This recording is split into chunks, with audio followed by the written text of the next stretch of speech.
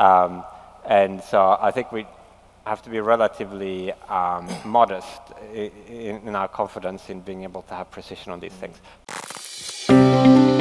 So to your eyes, as the uh, author of the super intelligence, how near is that kind of singular point or a point of super intelligence against humanity? Well, no, I think the truth is nobody knows. This book that you, you referred to came out in 2014, mm -hmm. uh, Superintelligence, and since then progress has been faster in machine learning than was expected at the time. So I think timelines have contracted some since then.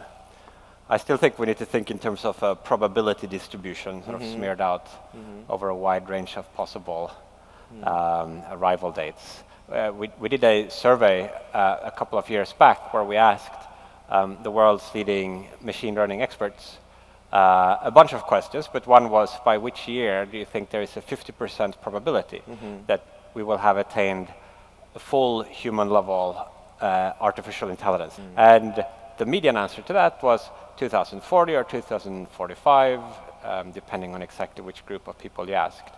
Um, but individual responses were all over the map. Uh, so there are people who are absolutely convinced it's going to happen, you know, in, in 10 years, mm. 15 years.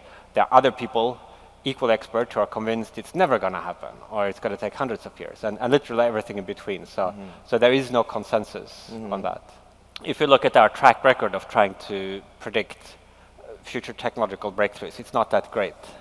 You, you can look back at various other pivotal technological steps, and, and many times they came unexpectedly. Even experts uh, sometimes denied the very possibility, uh, say, of heavier than air travel, uh, even whilst the Wright brothers were making their first test mm -hmm. flights. Mm -hmm. um, and so I think we have to be relatively um, modest in, in, our confidence in being able to have precision on these things. But certainly I have been impressed over the last several years okay. about the speed of progress.